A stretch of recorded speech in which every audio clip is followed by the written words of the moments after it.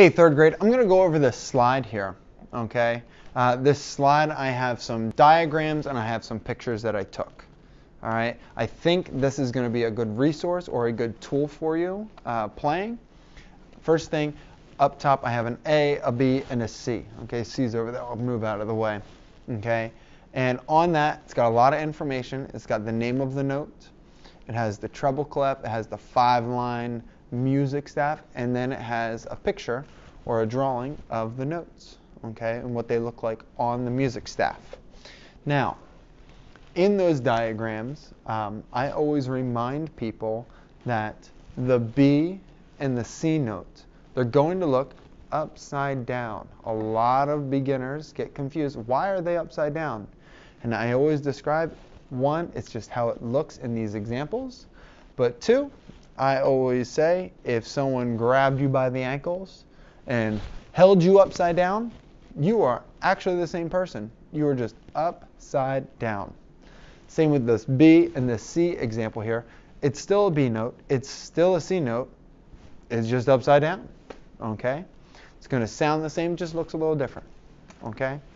All right? If you look at the bottom in the right, there's a small little diagram of our ukulele fretboard. Okay? All right? I'm not going to spend a lot of time today on this because we're going to work on that skill later, but these are going to help us when we start learning how to play chords. But the trick is the ukulele in that picture is going straight up and down. It is not sideways. Okay? What I do want to tell you is in the A example, the circle is open. Okay, it's not colored in, it is open because the string is open. We're not using this hand. It's by itself, it is open. The B and the C's, they are colored in. They are colored in because that is showing us where to put our finger. Okay? or when we get the chords, it'll be fingers. But all right, so it's colored in. It's this is on the fret number two, and this one's colored in on the fret number three, which we already talked about.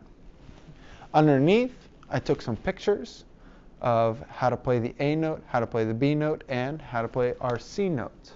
Okay, in the A note example, okay, I put my hand sideways this way just to show you that I do not need any fingers at all. The thumb not in the right place but it's just an example to remind you that you don't need any fingers for the A notes. The B and the C, okay, showed you exactly what that is, okay? All three of these examples are for right-handed uh, players. If you are a left-handed player, what you can do is you can hold your ukulele, okay, just a reminder, I am a left-handed player, that's why I'm holding it the other direction compared to the pictures. What I like to do is say, use this like a mirror if you are left-handed. Okay, if you're trying to learn maybe the B note, all right, you know that it's two fingers. And what I can do is I can hold my ukulele this way and I can match it to what it looks like up there. Okay, I hope this helps. This is a really good resource. Um, always go back to it if you need help of what it looks like, especially with the pictures. Good luck third grade with your examples coming up.